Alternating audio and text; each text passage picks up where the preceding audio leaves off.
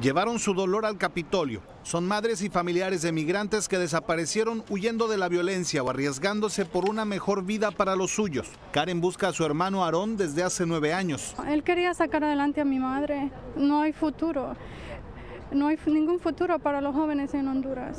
Y esa es la, mayor razón por la que queremos migrar. Ante esta realidad y en un intento de atender las causas de la migración, el gobierno de Estados Unidos anunció recursos adicionales en ayuda humanitaria para México y Centroamérica. Ascienden a 20 millones de dólares para atender las necesidades urgentes de unas 700 mil personas, en particular de quienes busquen asilo o refugio.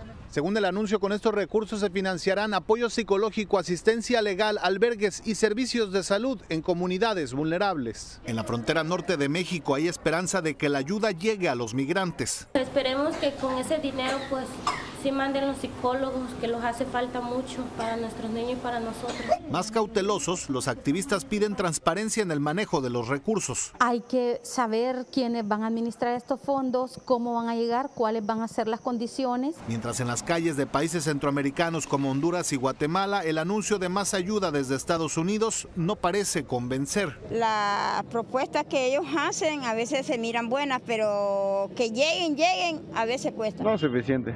Uno nunca viene y otro, el gobierno se lo, ahí sí que se lo embolsa. Yo digo que los países centroamericanos de nosotros siempre van a emigrar a Estados Unidos independientemente de la ayuda que venga. Aún así, Washington empuja porque cada vez sean menos los padres, hermanos e hijos que toman el peligroso camino rumbo a Estados Unidos. Javier Vega, Noticias Telemundo.